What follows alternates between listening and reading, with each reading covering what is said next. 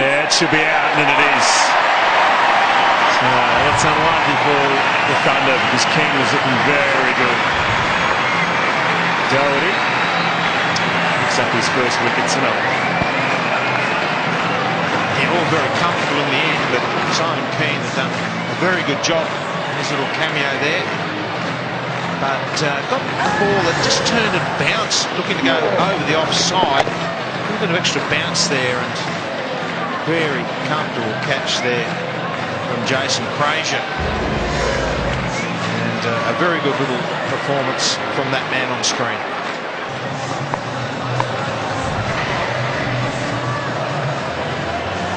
Strike rate 110. Balls per boundary 9.5. So for every 9.5 deliveries he faces, he hits a boundary. Probably needs to try and get that down if you're batting in the middle order of routine. Gone.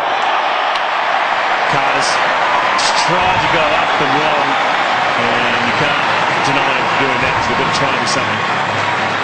No, it was uh, an effort from Ryan Carters that was required and needed, but not executed.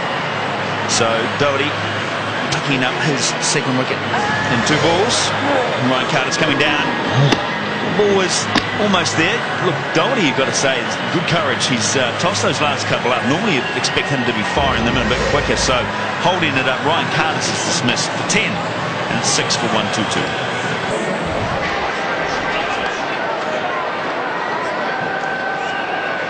Cam August, the new batsman. Doherty, he's got two for. And a hat trick for. There we go. And oh, it's close. Is it in front? It's got it. What about that? Hat trick for Doherty in front of the home crowd. Well, it's brought the crowd to their feet. A hat trick in the big bash, and the teammates celebrate, and quite rightly so. Excellent bowling. You don't see a lot of that. Cam August had to go and go long. And unfortunately for him, missed it and was adjudged LBW. A hat trick to Xavier Doherty. Well, he got given out a ball that was missing off. and it's just gone around on the big screen here at Blundstone Arena.